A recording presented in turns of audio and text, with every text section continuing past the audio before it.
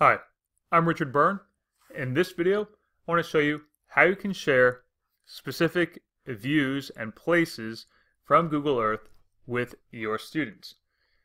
So you can see here I'm zoomed in on Mount Rushmore and I want to share this particular view with my students.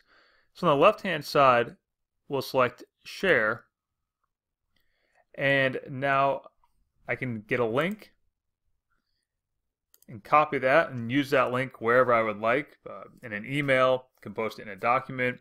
Uh, if you're not a Google Classroom user, you could put it in any kind of LMS that supports using links. Now, a student who gets that link can click on it, open it up, and when Google Earth launches on their computers, they'll be taken to the exact same view that I have on my screen.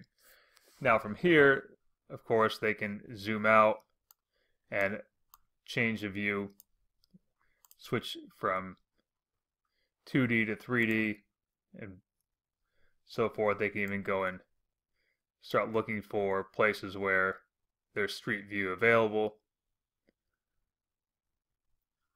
And we'll see down here, there's their street view options.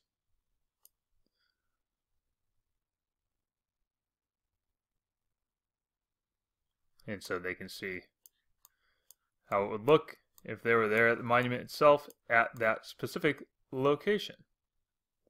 Kind of looking up at it. Now you can also share, as you probably saw, to Google Classroom and simply choose a class that you want to share it with and we'll just say we're going to ask a question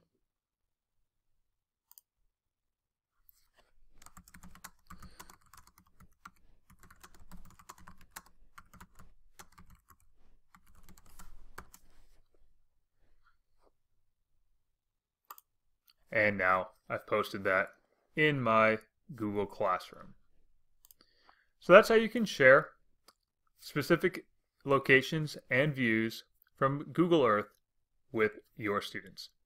As always, for more tips and tricks like this, please check out freetech4teachers.com and practicaledtech.com.